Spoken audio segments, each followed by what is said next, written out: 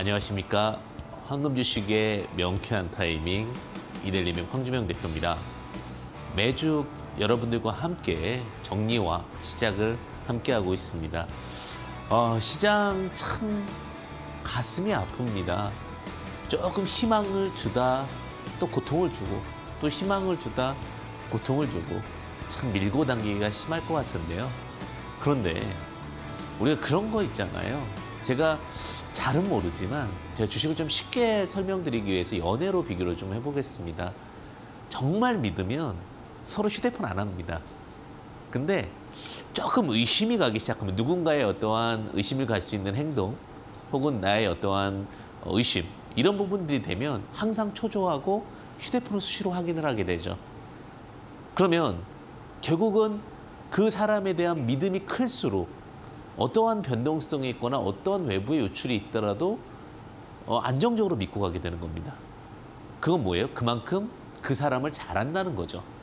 주식도 똑같습니다. 주식도요. 이렇게 하루하루 일희일비하는 것은 잘 몰라서 그래요. 알면 그 주식을 믿고 기다릴 수 있는 거죠. 초조하게 매일 보지 않아도 되고 그 사람이 잘하겠지. 그 주식이 잘하겠지. 이런 생각을 하게 되는 거죠. 그래서 오늘은 여러분들의 그 주식에 대한 그 주식에 대한 어떤 불확실성 그리고 주식에 대한 믿음이 없는 부분들 그 부분을 좀 타파해 드리려고 합니다. 오늘 그런 시간을 한번 같이 가져보도록 하겠습니다. 자, 그래서 오늘 가장 원론적인 질문을 탁 던지겠습니다. 여러분들 주식이란 무엇입니까? 이렇게 여쭤볼게요. 어, 바로 답변하시는 분들도 있어요. 예, 지금 방송 보시다가 막, 어, 내가 그러고 보니까 주식을 하고 있는데 주식이란 뭐지? 예, 뭐 이런 분들도 있겠죠. 주식, 나한테 수익을 주는 것. 주식, 나한테 고통을 주는 것. 주식, 아, 스트레스. 주식, 어, 뭐지? 주식, 내가 먹는 밥. 주식, 이렇게 다 질문을 던질 수 있겠죠. 주식이라 하면 원래는 뭐냐면 우리 식자라는 것이 형식적인 것들을 할 때 식, 뭐 헐에 의식할 때 그 식처럼 주주들이 갖고 있는 권리를 갖고 있는 어떤 하나의 권리증, 이 주식이에요. 지분증, 주식이에요. 근데 실제로 주식을 우리 개인 투자자분들은 많은 분들이 회사를 위해서 투자하지는 않죠. 네, 원래 이제 가장 아름다운 문구는 뭐냐면 주주와 회사가 회사 이윤 창출을 통해서 성장을 할 수 있도록 주식 주식 투자를 통해서 함께 성장하는 레버리지 효과를 누리게 하는 하나의 제도. 이게 주식이겠죠. 원래는. 그런데 우리 주, 주주들 속 시원하게 얘기 드려볼까요? 수익 보기 위한 거. 이게 주식이잖아요. 어, 저는 정말 그 최고의 내공은 가장 기본이라고 말씀을 많이 드립니다. 그 지금 이제 뭐 손흥민 씨도 그렇지만 어, 슈팅을 잘하는 것보다 볼을 잘 다루는 게 더 우선이다. 그 손흥정 씨 어, 아버지의 철칙이셨잖아요, 아버님의 그런 것처럼 어떻게 보면은 너무 현란한 기술이 중요하지 않아요. 딱 핵심 포인트가 더 중요할 수도 있거든요. 그 핵심 포인트는 뭐냐면 기본을 알아야 되는 거예요. 자, 기업에 대해서 알아야 되고 그리고 주식은 어떻게 상승하는지를 알아야 되고 그걸 오늘 한번 학습해 보자고요. 주식 이꼬르 잘 가려면 실적이다. 없어요. 끝. 주식은 뭐 세력이다 할 수도 있고요. 주식은 뭐 꿈이다 할 수도 있고. 그런데 결국은 주식은 실적이 좋아질 것이라는 기대감입니다. 아 무슨 말이에요? 제약바이오는 만년 적자여도 그 그렇지만 가두만 아 잘못 설명하는 것 같네. 아니죠. 그렇게 수많은 적자라도 제2의 가스 활명소 하나 만들자. 100년 이상 갈 수 있는 약품 하나 만들자. 그러면 다 흑자로 바뀌어. 이거예요. 그러니까 제약바이오는 한 번에 그 임팩트가 센 거예요. 조단위 계약. 막 이런 것들을 바라보니까. 결국은 우리가 루머도 결국은 루머. 뭐 예를 들면 그런 거죠. 뭐 테슬라랑 계약했다더라. 그럼 어떻게 될까? 테슬라는 큰 기업이니까 대규모 공급 계약이 딱 나와서 매출액 천억이 늘어나겠지. 이런 거예요. 주식은 결국은 실적이다. 실적에 대한 기대치가 되든 실적에 대한 질적적인 영향력을 주든 그래서 주식이 제일 잘 갈 때는 실적이 어마어마하게 올라갈 때 혹은 실적이 변환될 때 혹은 실적이 기대될 때 크게 세 가지로 나뉩니다. 자 물론 이런 구분을 하기 전에 자 다시 한번 실적이 기대될 때 실적이 성장할 때 실적이 turnaround 될 때 요게 세 가지가 다예요. 그 외에 여러분들 그 수많은 재료들을 왜 중시 여기는 거예요? 결국 회사가 좋아진다라는 거잖아요. 물론 누군가 최대 주주가 삼성전자 투자했다고 삼성전자 납품을 많이 하겠지. 카카오가 투자했다면 카카오랑 납품을 많이 하겠지. 결국 실적이에요. 그 이상에 대해서 고민해 보신 적 있나요? 세력이 들어온대. 뭐 우리가 막 뭐 그런 것들 있잖아요. 그것도 결국은 뭐예요? 재료는 뭐예요? 실적이 좋아질 수 있는 만한 모멘텀이잖아요. 가장 근간으로 가보라고요. 기업의 기본 그 목적은 뭐예요? 우리 다 경제학, 아, 경영학 딱 펴보면은 거기 뭐가 나오냐면 기업의 존립 욕구는 무엇이냐? CSR 아닙니다. 그것도 물론 있어야 되지만 이윤추 구예요. 기업은 이윤이 다다. 자 그러면 기대함으로써 가는 거 혹은 성장하면서 가는 거 turnaround 하면서 가는 거 적자에서 흑자로 되면서 가는 거 이게 다잖아요. 그러한 종목들을 우리가 설득되고 변화되고 성장하고 위메이드가 급등해서 10배 상승할 때 뭐였어요? 적자에서 흑자로 대규모로 전환될 때였잖아요. 키네마스터가 그, 그 급등해서 다섯 배 여섯 배갈 때 뭐였어요? 결국은 유튜브 동영상 편집기 때문에 앞으로 잘 될 거라는 기대감 때문이었잖아요. 아프리카 TV가 왜 성장을 합니까? 실적이 계속해서 900억, 1000억까지 성장한다라는 모멘텀 때문이잖아요. 그게 다잖아요. 여러분들 주식 왜 매수하십니까? 옆 동네에서 철수가 알려줘서요? 영희가 알려줘서요? 그것도 있겠지만 근간은 뭐예요? 실적이 좋아지겠지. 회사가 변화, 회사가 변화하겠지. 이게 다잖아요. 그럼 크게 두 가지로 나눌 수 있습니다. 기준으로. 첫 번째, 적재적자로 바뀌는 거. 예전에 대한강통신이 급등할 때가 있었습니다. 광섬유 캡을 다 깔아버리고 적재적자로 바뀌니까 그 안 가던 종목이 춤춤춤 갑니다. 왜? 이제는 회사가 더 이상 더 이상 자본을 줄이지 않겠지. 자본잉여금을 만들고 이익잉여금을 만들어서 배당도 할 수 있고 그 다음에 더 나아가서 자사주 매수도 할 수 있고 이런 것들이 될 수 있려면 적재적자로 바뀌어야 되겠죠. 원 포인트. 두 번째는 지속적으로 성장하는 기업. 이런 기업들이 있어요. 참 좋은 기업이죠. 1년에 30%씩 매출이 증가되고 영업이익이 10% 이상만 증가되면 이 회사는 베스트입니다. 왜? 자, 1년에 30%면 130이죠. 여기 30이면 169, 170이죠. 그죠? 여기서 또 30이면 51이 더 더해지니까 201이니까 210인가요? 70에 50, 220이네요. 200이 넘잖아요. 1년에 매출액이 30%씩만 3년이 좋아지면 매출액이 만약에 예를 들면 천억에 영업이익이 100억짜리 기업이었다.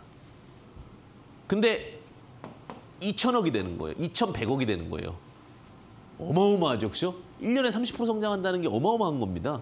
그 다음에 영업이익이 예를 들면 100억이었으면 자, 10%가 좋아진다 치면 여기에 10%가 좋아진다고 치면 10%씩만 낸다 치더라도 210억이 됩니다. 이건 그냥 그냥 그냥 매출액의 10%씩만 나온다 하더라도. 근데 규모의 경제가 커지면 뭐가 될까요? 우리가 항상 여기에는 기본 비용이 있어요. 기본 비용이니까 fixed cost가 있기 때문에 FC가 있어요. 고정되어 있는 비용, 고정 비용이 있기 때문에 이 고정 비용에 대한 부분들이 더 이상 안 늘어납니다. 그런 거 있잖아요. 뭔가 인프라를 깔기 위해서 진행되는 거. 그러니까 우리가 비용 얘기할 때 FC 플러스 VC를 얘기를 하거든요. VC는 뭐냐면 변동 비용이에요. FC는 그 기본 비용이에요. 딱 고정돼 있는 비용이에요. 그럼 이 고정 비용이 코스니까 이 고정 비용이 예를 들면 그, 그 이상 안 들어. 아무리 커져도 천만 들어. 그 다음에 이제 VC 성장할 때마다 계속 늘어나면 이 비용이 매출이 커지면 줄어들기 때문에 규모의 경제가 여기서 나오는 거거든요, 사실은. 그래서 어쨌든 간 30%씩 지속적으로 성장하면서 영업이익이 10% 이상만 나면 이 기업은 그 어느 기업보다 베스트입니다. 베스트. 자, 어쨌든 아니면 두 번째 있어요. 실적은 좋아. 안정적이야. 실적이 어떠냐면 어 120억. 내년도에 130억. 그 년도에 110억. 또 120억. 이런 기업들이 있어요. 그냥 따박따박 나는 데 있어요. 더 이상 늘지도 않고 줄지도 않는 기업들. 이런 기업들도 나쁘진 않아요. 왜? 이런 기업들이 시장이 그냥 안 좋은 거야. 확 떨어져. 그럼 이런 것들은 시장상으로 주가가 하락하면은 오히려 이런 안정적인 기업들 같은 경우도 기대해 볼 수 있겠죠. 아, 주가가 저평가되어 있네. 뭐 예를 들면 KTNG라든지 이런 것들은 시절 꾸준하잖아요. 그죠? 그럴 때는 오히려 주가 하락하는 기업.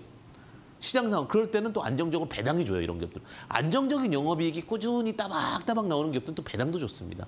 그러니까 이런 두 가지 경우로 구분합니다. 이런 게에서 이제 우리는 뭘 바라는 거냐면 이런 데서는 30에서 50% 정도 기대 수익률을 바랄 수 있고 운이 좋으면 이런 거는 진짜 우리가 말하는 10배가도 나오고 다섯 배도 나오고 세 배도 나오고 두 배도 나오는 거죠. 다만 이제 이렇게 세팅이 딱 됐어. 이런 식으로 이제 세팅이 됐어. 그러면 부채 비율은 낮아야지. 부채는 낮아야죠. 부채는. 부채는 왜 낮아야 됩니까? 부채 비율이 100% 이하인 종목을 해야 되는 것은 내가 돈을 잘 벌어. 이제 성장을 하기도 하고. 근데 돈이 빠져나가선 안 되잖아요. 부채가 안 가질 수는 없어. 아무리 좋은 기업도 부채는 갖고 있습니다. 그걸 뭐라고 부릅니까? 레버리지. 레버리지라고 부르죠. 그 자본이 500억 이상이라는 얘기죠. 자본이 500억 이상. 그러면 그 부분, 그럼 자본은 또 왜 500억 이상은 필요합니까? 사실은 제가 볼 때 300억 이상은 나와야 돼. 그래야 이제 트레이딩하기 좋아. 회사가 가끔 아무리 잘해도 실수를 한 번 할 때가 있어. 그러면 대부분 제가 상장사 쭉 보니까 한 200억은 있어야 돼. 그래야지 한번 정도 이렇게 무마가 되더라고요. 그래서 한 300억 정도는 100억 정도 자본이 있고 200억 정도의 흐름을 볼 수 있으니 한 300억 정도의 펀더멘탈에 있어서 까먹지 말자. 이거 뭐예요? 까먹는 용도예요. 성장을 해도 까먹는 게 더 크면 적자 나올 거 아니에요. 그런 부분들을 3번에서 얘기하는 거고. 자, 그 다음 영업이 기준과 별도 아직도 이게 안 되는 분들 많아. 그래서 제가 가끔 너무 안타까운 게 정부의 바닷속에서 이상한 얘기들이 자꾸 나와요. 제가 가끔 보면은 이게 이제 정확한 기준이 없다 보니까 뭐, 뭐가 뭔지 잘 모르고 그 분위기를 선동하는 그런 느낌인데 영업이익이 왜 중요한 거냐 상장 폐지 조건이 돼요. 그 중에서도 코스닥 기업 중에 코스피가 아니에요. 코스닥만이에요. 코스닥 중에 5년 적자면 상장 폐지입니다. 그러면 코스닥 5년 적자인데 이게 별도냐 연결이냐를 구분해야 돼요. 별도는 뭐냐면 A라는 기업이 있습니다. 이 A라는 기업이 어떤 기업에서 이제 투자를 잘해서 뭐 BCD를 만듭니다. BCD를 만들어서 여긴 지분 53%를 들어갔고 여기 지분은 62%를 들어갔고 여기 지분은 경영권은 갖고 왔고 40%를 들고 왔습니다. 경영권을 갖고 있다는 전제 아래 완전 지배라는 전제 아래 자 그러면 이제 그 그리고 여기 이 A라는 기업이 뭐냐면 개별이라고 부르는 거예요. 예를 들면 여기에 만약에 제가 삼성전자라는 주식을 샀는데 삼성전자 옆에 뭐 삼성 뭐 삼성카드 아니 삼성카드 아니라 뭐 삼성모 삼성모 삼성모 삼성모 이렇게 해가지고 지분을 갖고 있는 거예요. 근데 이렇게 개별은 뭐냐면 요 A만을 개별이라고 부르는 거예요. 이건 뭐라고 불러요? A, B, C, D 다 합치면 연결이라고 부릅니다. 근데 우리가 실적 공시할 때는 이제 IFRS 도입 이후에 이 연결을 많이 보죠. 영업이익은 개별로 잘 안 나와요. 물론 재무 그 다트 보면 다 나오지만 일반적으로 뭐 영업이익이 몇 프로 늘었다, 몇 프로 늘었다는 연결입니다. 뭐냐면 영업이익이 여기서 100억 났으면 100억 중에 53%는 일로 넘어갑니다. 여긴 20억 남았으면 20억 중에 62%는 일로 넘어가고 다 합산하는 거예요. 40%가 됐으면 여기 마이너스 30억이 됐으면 마이너스 10억이 넘어가서 이 A가 다 합쳐지는 연결이 되는 거예요. 그러니까 실제적으로는 A가 이쪽 저쪽에 투자한 지분의 가치가 있기 때문에 이게 가치 평가에 좀 더 합리적일 수 있죠. 이게 이제 우리나라가 바뀌게 된 거죠. IMF 이후에 더 적극적으로. 개별은 뭐냐면 어 BCD 투자한 건 투자한 거고 A만 보는 거예요. 이렇게. A가 예를 들면 A의 본 사업만 보는 거예요. 본 업체만. 그러면 A 이 별도라는 거거든요. 근데 상장 폐지는 뭐냐면 이 BCD는 끊어주겠다 이거예요. A만의 가치를 가지고 5년 적자. 그래서 개별과 연결은 따로 보셔야 됩니다. 가끔 그러세요. 연결로 마이너스 5년, 4년 적자인 거야. 근데 개별로 보니까 마이너스 2년밖에 안 됐어. 이런 것들로 이제 헷갈려서 오히려 이제는 개별 상황에서 흑자가 더 크게 될 수도 있고 연결도 바뀌는 상황인데 그럴 때 이제 분위기가 이렇게 되죠. 어, 4년 적자니까 1년만 더 있으면 상장 폐지하면서 이상한 루머가 돕니다. 그러면서 박살나는 경우도 되게 많아요. 그러니까 이 별도와 연결 정도 이런 기준적인 건 알고 있어야 잡아갈 수 있죠. 어, 이번에 적자 기업이었는데 이번에 별도가 흑자가 무조건 나올 것 같네. 어, 상장 폐지 탈피. 미리 밑에 있었는데 확 올라갈 수 있을 거고. 어, 적자가 어, 8 8분기 적자. 8분기 적자예요. 8분기. 8분기 적자인데 이번에 이제 흑자가 딱 되면은 어마어마하게 되는 거고. 그리고 네 번째. 단기 순익 기준으로. 단기 순익 중에 제가 가끔 전환사채 때문에 얘기를 많이 드리는 게 전환사채랑요. 부동산이랑 이런 것들은 계산 잘 해보셔야 돼요. 전환사채가 예를 들면은 전환사채를 발행하면 채권이잖아요. 채권. 사채, 회사 채권이거든요. 유증은 관여가 안 되는데 전환사채는 예를 들면 내가 500원에 발행을 했어요. 500원에 발행을 했는데 이게 주가가 1000원이 됐네? 그럼 회사 입장에서는 이 500원에 대한 부분들을 이 회계 기준으로 계산을 해서 적자로 바꿔버립니다. 그래서 전환 청구를 시키면 상관이 없는데 전환 청구가 안 됐을 경우에는 전환사채에 대한 수익이 커지는 로직 상황에서는 단기 순이익에 영향을 줘버려요. 그래서 이런 부분들도 사실은 알고 있으니까 이런 건 뭐예요? 결국은 첫 번째 이거는 이제 결국은 회사를 받는 기준이고 이거는 뭐예요? 결국은 리스크 관리고 그다음에 이거는 알고 투자하자는 얘기예요. 최소한의 부분 3번 4번은 이게 안 돼요. 이거 이게 기본이거든요, 사실은. 그러니까 이거를 기준으로 해서 종목을 보는 거다. 그럼 여기서 이제 가끔 뭘 많이 공략하냐면 잘 모르는 분들이 4번을 갖고 막 공략하기도 하고 아, 이 기업은 단기 순위가 안 좋은데 부동산 팔아보니까 갑자기 단기 순위 확 좋아져. 예를 들면은 아니면 뭐 전환사채가 해결되고 나니까 뭐 좋아지기도 하고 영업이 깎거든. 근데 이거를 제가 너무 아쉬운 게 이게 제대로 안 돼서 말씀하시는 분들도 많더라고요. 네, 다행히 이들린 그런 분들 없습니다. 네, 근데 그런 부분들은 참 잘 체크하셔야 됩니다. 물론 우리 다 잘 훌륭하신 있네. 가끔 헷갈리시는 것 같은데 그렇게 보면 될 것 같고 자 신용 비율이 높거나 공매도 공환여 종목은 좀 제외하는 것도 좋다. 네, 이렇게까지 얘기를 드릴게요. 그럼 이제 좀 백문이 불여일견. 네, 오늘 설명을 좀 많이 드렸네요, 제가. 그래서 구분 볼게요. 대원 미디어. 제가 대원 미디어는 방송에서 엄청 얘기 드렸던 것 같아요. 어, 진짜 웹툰 얘기는 항상 말씀드려요. 그리는 거, 웹에다가 툰이 됐다. 근데 제가 만화방을 갔는데 예전엔 갖다 주기가 싫어가지고 그래가지고 이제 웹툰이 되니까 그냥 바로 바로 결제하니까 좋더라. 근데 이게 다수가 보게 되면 굉장히 좋으면서 해외에서 우리나라의 그 감성적인 부분을 했다라고 해서 아주 얘기한 것 같아요. 근데 그렇게 얘기를 하면서 어때요? 주가는 반영이 되죠. 왜? 주식은 실적인데 실적이란 건 뭐예요? 많이 팔려야 되잖아요. 자, 지금 단기적으로 한 5, 60% 갔어요. 다시 원점으로 돌아온 경우도 있지만 지금 정보니까 조금 좀 이제 시간이 걸리겠지만 다시 만들어 가고 있잖아요.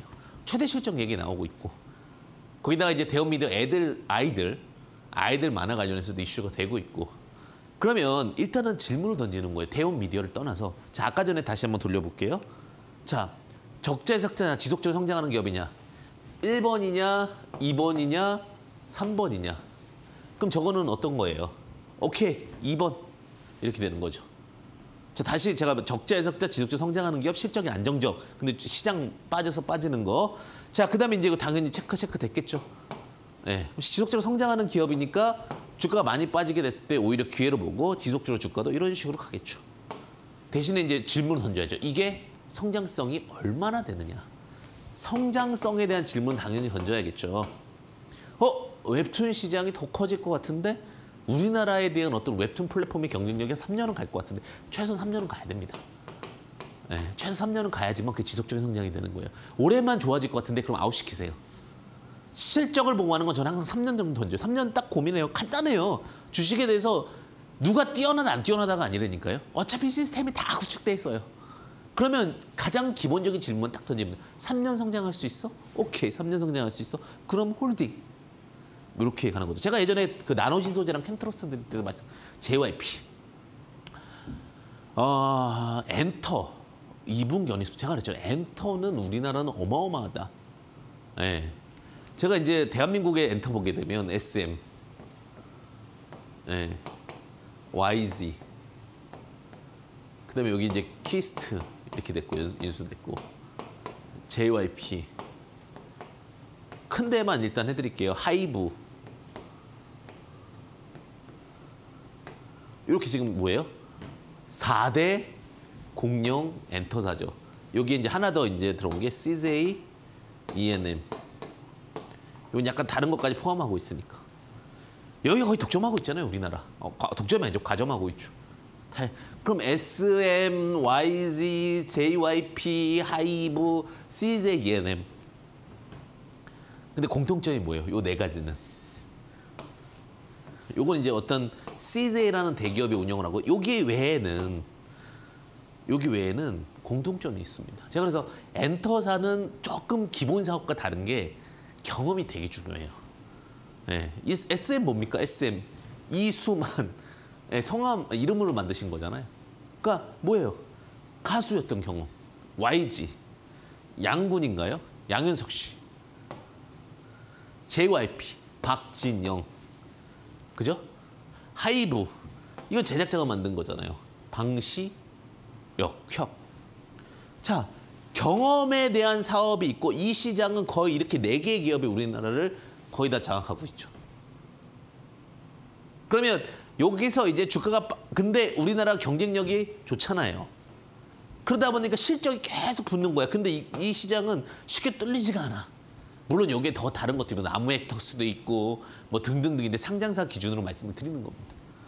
그래서 이 기업들을 기준으로 해서 거의 다 확정이 되고 있고 그 다음에 이제 왜 그런 아이돌 이 기업들 아이돌 관리 기업들이잖아요 경주 왜 이 기업들이 잘 갈까? 아니 드라마라든지 액션, 무비 이런 쪽이 더 잘 갈 수도 있잖아요. 아이돌의 그 가장 큰 매력은 뭔지 아세요? 인기. 드라마도 인기죠. 어, 내가 뭐 송중기 정말 멋있는데 누구 멋있는데 뭐 누구 누구 이쁜데 이렇게 될 수 있겠지만 이 굿즈 상품도 정말 잘 풀리고 그 외에 파생된 상품도 굉장히 많습니다. 어떤 매니아층들을 만들고 공연들을 만들기 때문에 그래서 제가 이 섹터들에 대해서 많이 낙폭되었을 땐 돌아가면서 보시라고 그랬죠. 예. 요건 이제 너무 거, 그리고 CJ ENM 같은 경우는 이제 약간 CJ고 대기업들이 거의 다 잘 보시면 다른 것들은 대기업들이 다 들어가 있어요. 근데 여기에는 대기업이 쉽게 진출을 못해. 참 신기하죠. 어쨌든 간 그런 구조 상황에서 만들어지고 있더라. JYP 주가 잘 갔죠. 근데 이런 종목들은 항상 특별 상황으로 빠질 때 보는 게 좋더라고요. 네, 왜냐면 시총이 워낙 많이 가 있으니까. 근데 크게 안 빠지죠. 예전에는 엔터사들이 빠지는 이유 중에 뭐냐면 도덕적 해이가 정말 많았어요. 모럴 해저드가. 지금도 moral hazard 이슈가 있겠지만 어, 그 moral hazard 중에서 연예인들에 대한 hazard를 더 관리하셔야 될 것 같습니다. 어쨌든 그런 부분 좀 참고하셔서 엔터주등 낙폭이 나왔을 때 그때 접근하는 것이 좋다. 하지만 엔터주들도 뭐야 지속적인 성장이 기대되는 기업이잖아요. 지속적인 성장이 기대되는 기업이면 주가가 빠졌을 때나 음, 그럴 때 기회를 마련할 수가 있겠죠.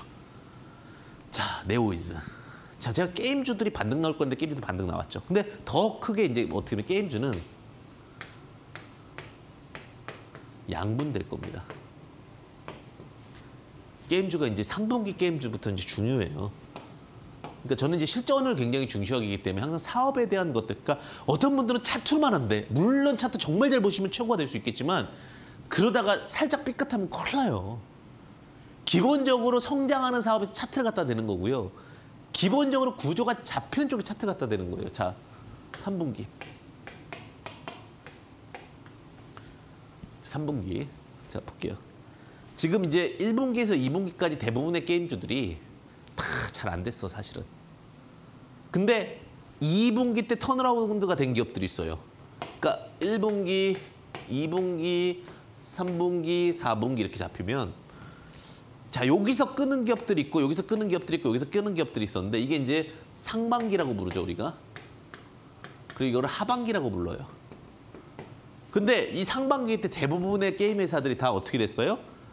안 좋았습니다. 근데 네오이즈는 좋았습니다. 네오이즈는 2분기 때 영업이익 전년비 13% 증가했다는 거는 꽤 괄목할 만한 상대입니다. 왜? 이 1, 2분기 때 워낙 그 게임 법부터 시작해서 구조, 그 다음에 여러 가지 시장 상황 다 안 좋았습니다. 그래가지고 이제 뭐냐면 여기서 turnaround 되느냐, 여기서 turnaround 되느냐, 아니면 내년도 1분기 turnaround 되느냐 이렇게 될 거예요 아마. 많은 기업들이 1, 2분기 때 많이 털었어요 리스크들을. 예. 그러면 3분기 때 turnaround 되는 기업들이 있고요. 4분기 때 turnaround 기업들이 있어요. 근데 뭐가 문제냐? 인건비 문제가 있어요, 사실은. 물론 그 가치에 대한 부분들은 맞게 가는 거지만 그냥 뭐 말도 안 되게 그냥 너무 많이 뽑은 기업들이 있거든요. 그 기업들이 지금 시정 문제가 분명히 나올 겁니다.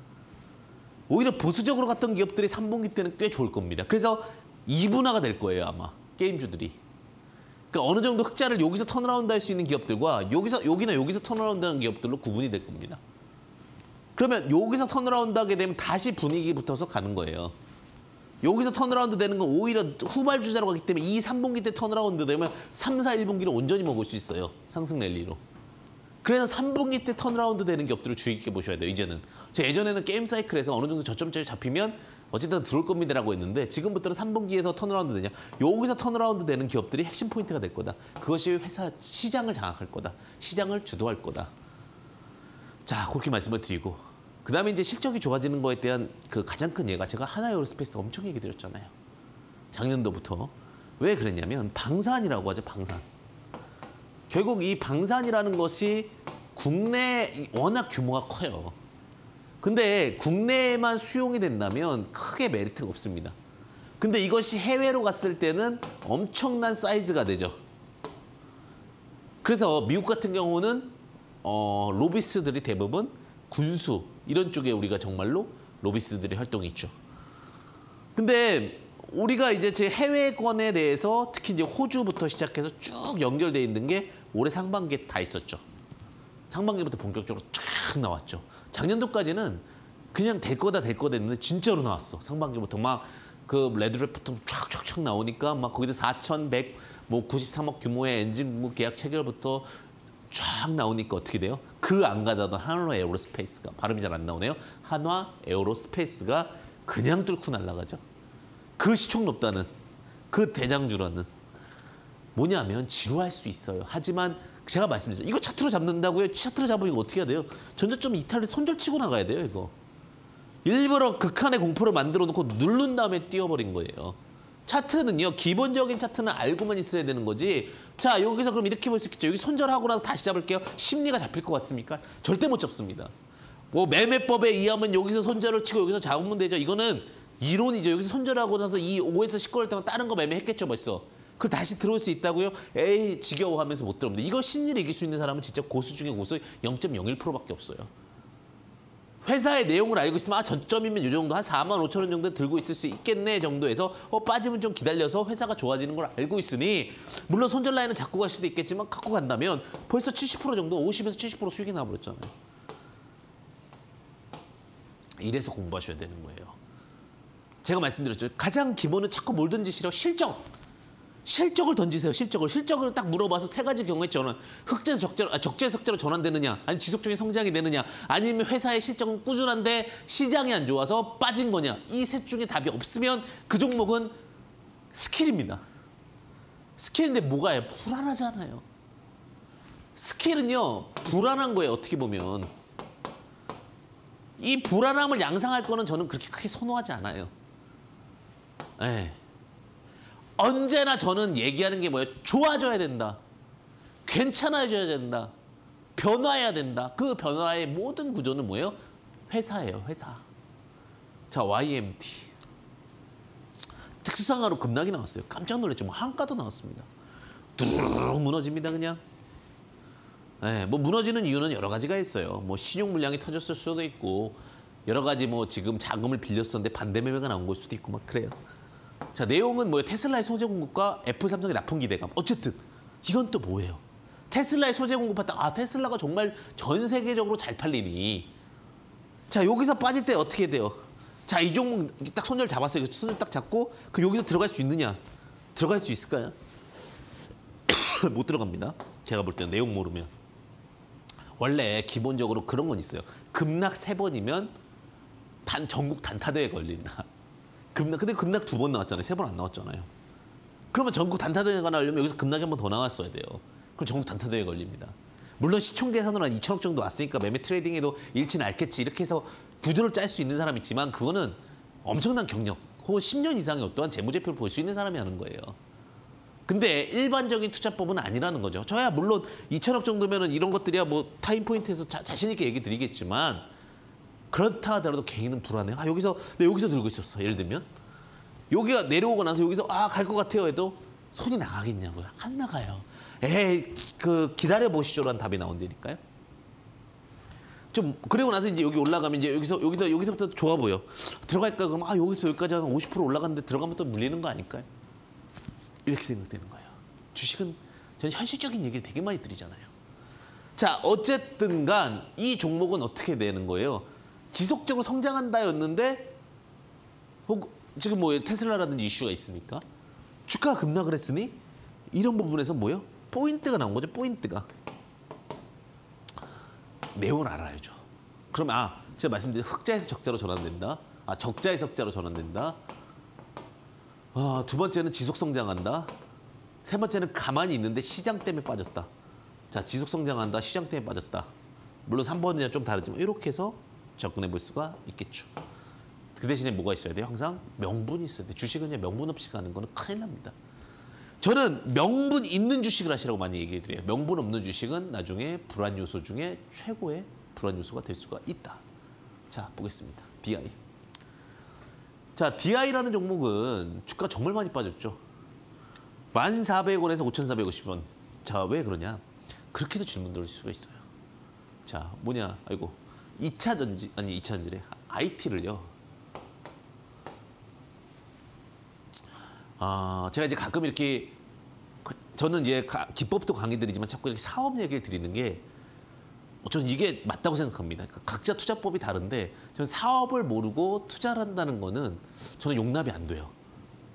아니 왜 들어갔습니까? 아니 제약바이오에 대해서 임상 1상과 2상과 3상과 4상에 대해서 기본적으로 알고 있으면서 제약바이오를 얘기할 수 있어야 되고 그래서 어려운 것 같아요. 그러니까 주식에 대해서 많이 보려면 산업을 거의 일반적 전반적으로 다 이해해야 돼요. 제가 수소를 말씀드리려면 수소에 대해서 웬만한 회사 운영하는 사람만큼의 기본적인 지식은 알고 있어야 된다라고 봐요. 뭐 정말 실무적으로 해서 뭐 과학자만큼 모른다 하더라도 그렇지 않고 얘기하는 것은 저는 아 저게 맞는 것일까? 물론 틀릴 수는 있겠죠.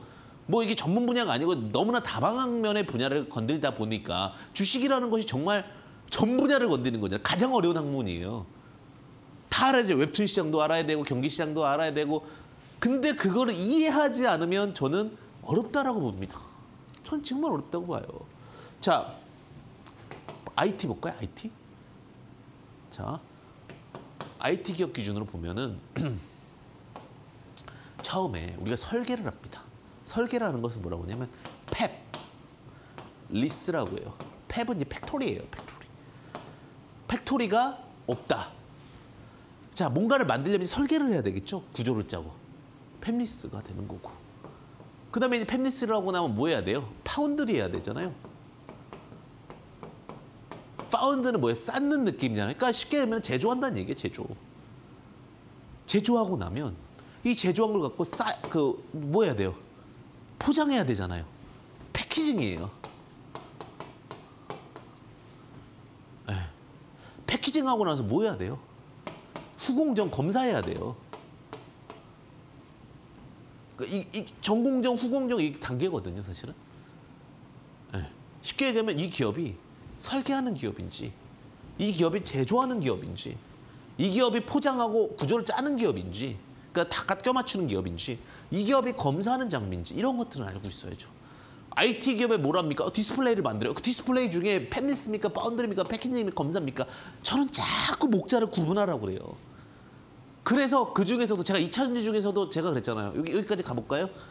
이런 것들을 계속 암기하고 계셔야 되는데 2차 전지 가면 2차 전지가 양극재인지 아 양극재가 아니죠. 전극 공정인지 그 다음에 뭐가 있어요? 그 다음에 이제 어, 조립 공정인지 아니면 이게 활성화 공정인지 이런 걸 다 구분해야 되는데 제가 그랬죠. 전극 공정은 대부분 이제 분리막 양극재, 연극재니까 이런 것들은 계속해서 소모되는 거니까 이쪽을 보셔라. 다 이쪽에서 가잖아요. 왜? 이 조립은 한 번 하고 나면 물론 한 번씩은 대규모로 터지겠지만 또 설립하고 나면 또 시간 걸리고 또 걸리고 그러니까 제가 집중하는 건 전국 공정입니다. 이렇게 얘기해 드렸잖아요.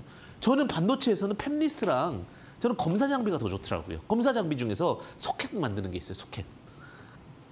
재밌죠? 아 저만 재밌을까? 저는 이게 딱딱 맞아 떨어지는 그 구조들이 좋더라고요.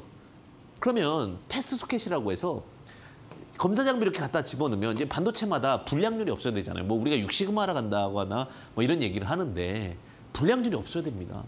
불량률이 없어야 그, 그 반도체를 했을 때 문제가 없어야 되고 우리가 TV를 사서 삼성전자 TV를 샀는데 삼성전자 TV가 갑자기 막 흐린 게 나와. 그러면 어떻게 돼요? 에이 삼성전자인데 이렇게까지 나오나? 뭐 하나만 갖고도 그렇게 꼬투리 잡힐 수 있거든요. 제가 말씀드린 건 뭐냐면 테스트 하는 기업들은 제가 좀 많이 보시라고 얘기를 드려요. 왜?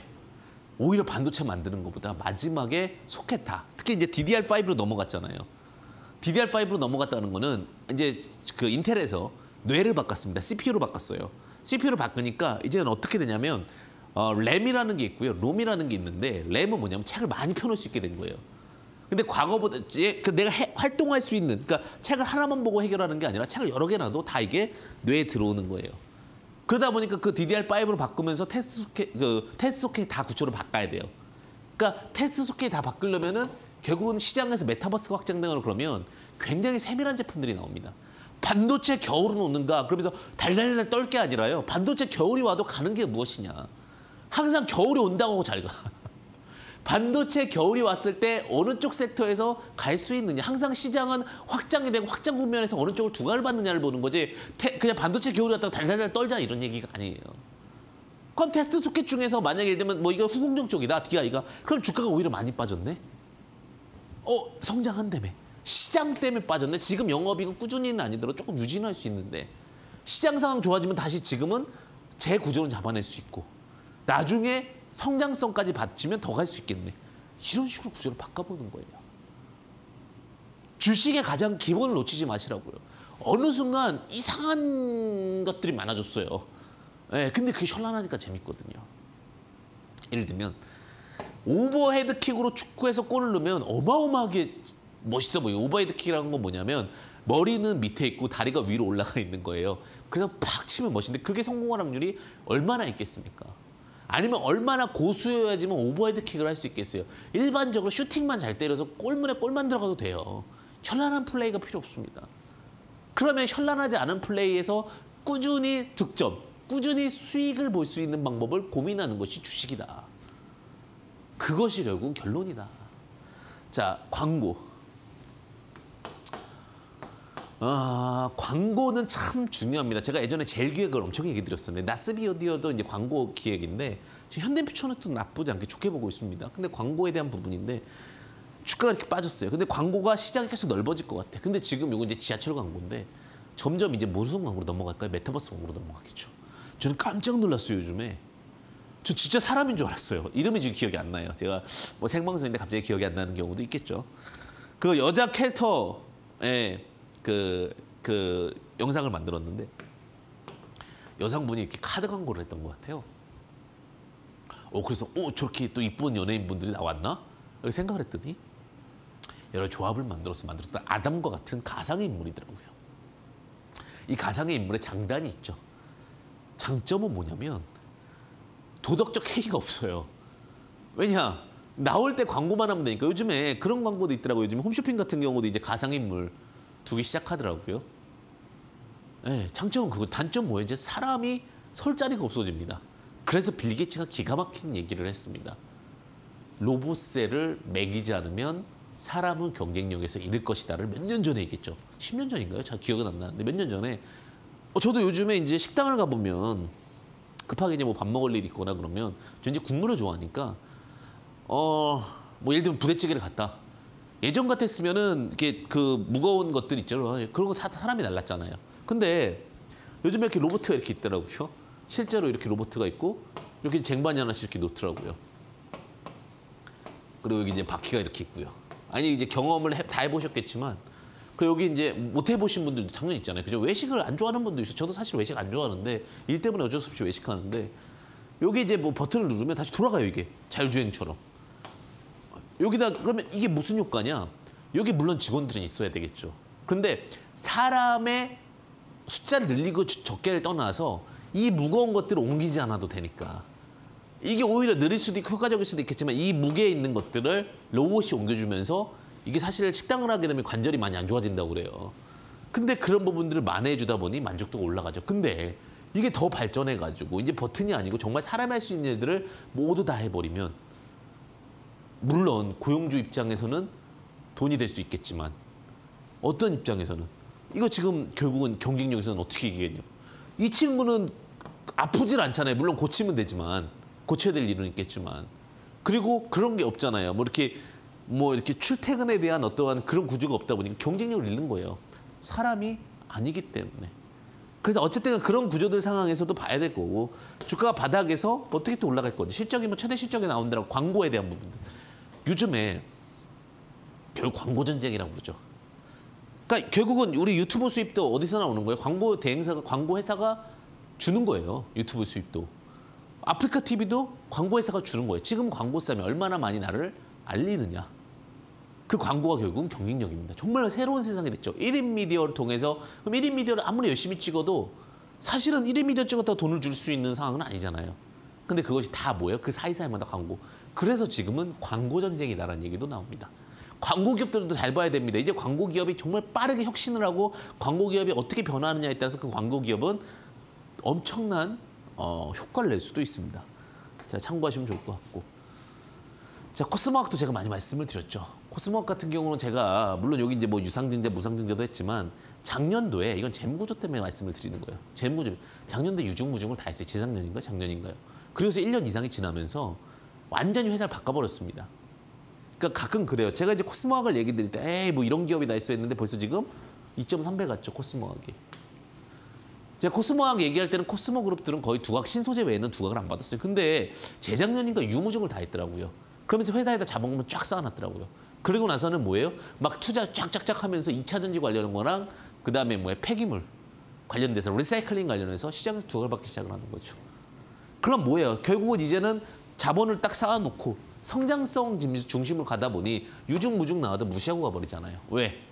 주식이 실적에 받쳐주기 시작을 했고 쏟잖아요 이제 쏟아붓잖아요 이해 가셨나요? 모든 거를 쏟아부으니까 결국 회사가 가는 거예요 제가 이제 예, 좀 피곤하실 것 같아서 예, 공부를 하다 보면 피곤할 수 있습니다 당연히 예, 근데 이제 저는 그런 걸 선호해요 딱 이 시간만큼은 딱 집중하시자고요 왜냐하면 또 보면 더 지루하잖아요 딱 50분 희생하시고 그 다음에 딱 아 내 머리에 딱 키핑 해보시면 그 다음부터는 이게 뭐가 되는 거예요? 재산이 되는 겁니다. 제가 강의할 때 항상 그런 생각으로 들어와요. 여러분들도 뭐 마찬가지겠지만 둘 다 똑같은 입장인 것 같아요. 소중한 시간이잖아요. 시청자님들도 마찬가지. 전 시청자님 그냥 한 분으로 보겠습니다. 예, 저도 이제 카메라를 보고 있으니까 저도 마찬가지고 어, 다 얘기 듣는 걸로 굳이 얘기하면은 제 방송을 왜 보실까? 정말 좀 그래도 시장에서 있는 얘기 조금 더 현실적인 이야기들 이런 이야기 참 많이 드리고 싶다는 생각으로 항상 방송을 준비하거든요. 그래서 제 방송을 보시면 조금 일반적인 방송이랑 많이 다를 거예요. 예, 왜냐면 시중에 있는 얘기들을 그렇게 많이 하고 싶진 않아요. 그렇다고 뭐 특별하게 가고 싶다는 얘기가 아니라 정말 기본인데 저의 구조에 따라서, 그러니까 제가 여태까지 경험한 거에 따라서 저희 한 15에서 20년 사이의 경험과 이야기를 여러분들 드리면 조금 더 현실적이지 않을까. 저 이런 거 너무 듣고 싶었거든요. 그러니까 제가 강의를 하면서 그런 생각을 해요. 아, 저, 저, 저는 이 15년에서 20년 정도 사이를 정말 쫓아다니면서 혹은 겪으면서 정말 어려움도 많이 겪고 정말 오해도 많이 해서 정말 힘들었거든요. 근데 이걸 이제 배우고 나니까 어느 정도 체득하고 시장이 보이니까 여러분들에게는 아 듣고 싶은 이야기들이 어떻게 보면 그게 방송이잖아요, 그죠? 그런 걸 좀 도움이 되셨으면 해서 하는 거니까 그런 부분도 좀 참고하셔가지고 아 좀 좀 여러분들만의 어떤 또 비법을 만드는데 중요한 또 요소가 됐으면 좋겠습니다. 자 코스피 얘기 드릴게요. 제가 코스피도 이 경험인데 제가 이제 IMF 때는 못 겪었어요, 사실은. 예. 그리고 이제 썸프라임 모기지 때는 겪었습니다. 그 뭐 석유 사태 이런 거 모르겠어요. 거기까지 가기에는 제가 너무 멀어. 아, 전 여기서부터 겪은 시대죠. 그리고 이제 그 코로나를 겪었잖아요.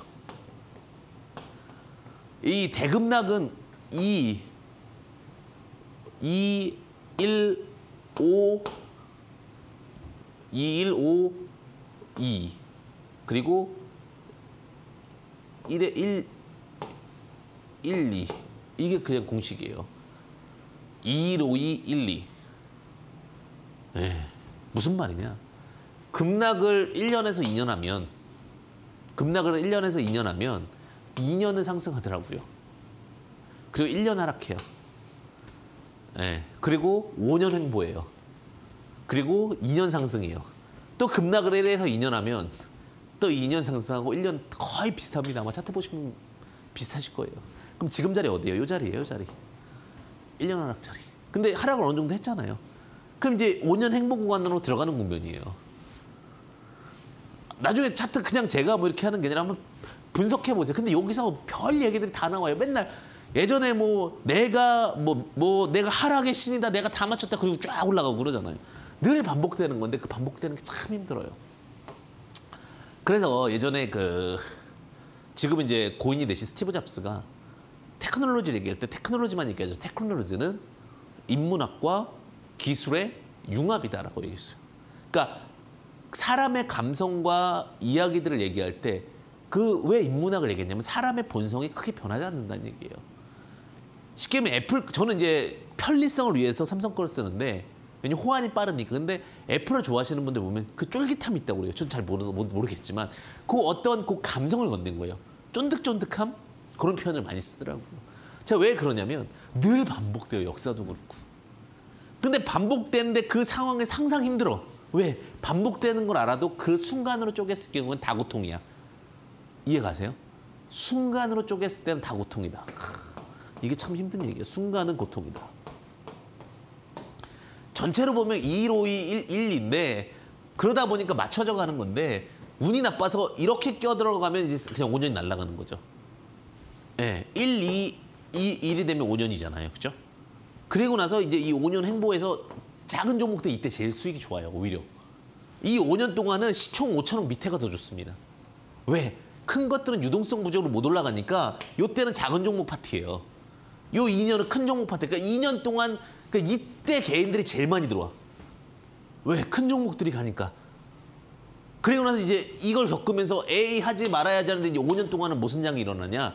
중소형 종목들이 움직여요. 이해가셨죠? 그러니까 2, 1, 5, 2, 1, 2를 계산하면 되는데 그러니까 여기서 이제 그 과정 과정마다 불안한 거예요. 경험을 안 해봤으니까 왜? 요 순간에 들어왔으면 이때부터 이제 쭉 급락을 맞아 보니까 이 시장 안 돌아오는 거 어떡하지? 근데 시간 또 지나면 다 올라와요. 대신에 전제 조건은 세 가지 안에 들어가야 되죠. 주식은 실적이다. 실적 안에서 어떻게 구조를 만들어내느냐. 이 부분을 보셔야 되겠죠. 자, 그래서 코스피 부분을 보게 되면 코스피 기준으로 해서 우상향하는 그림들이 만들어지고 있죠. 예, 그래서 그 우상향적인 부분들로 뭐 SK 어 이제 좀 보셔야 되는데 이제 방향이 정해졌어. 2,800에서 지금 2,700 사이. 저 잘 그림이 삐뚤삐뚤거리네. 여기서 저항이 만들어지고 나고 그 다음에 2,000한 300에서 2,400 사이 지지대가 나왔잖아요. 요 사이에 흐름을 보셔야 되지 않을까. 코스피 기준으로는 이렇게 보여지고 있고요. 코스닥 기준으로는 지금 주가 파동에 의해서 이렇게 만들어졌는데 주가 파동에 의해서 자 코스닥 같은 경우도 마찬가지죠. 이제는 천이라는 건 너무나 어려운 얘기인 것 같고 900에서 950까지 볼 수 있겠다. 자 950 쭉 그려보면 돼요 지지저항으로. 에서 850 저항 정도 보실 수 있지 않을까 이렇게 좀 보시고 있습니다. 주시장이 항상 위기와 기회가 공존합니다. 하지만 여러분들 너무 걱정하지 마시고 제가 여러분들 항상 중심으로 하겠습니다. 언제나 성공 투자 되시기를 진심으로 바라겠고요. 여러분들의 수익을 응원합니다. 황금 주식의 명쾌한 타이밍 에이델리맵 황주명 대표입니다. 언제나 수익을 응원하겠습니다. 감사합니다.